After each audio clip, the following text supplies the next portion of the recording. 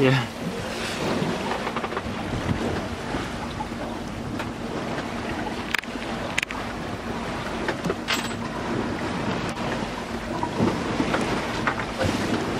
Riding away. This is so annoying.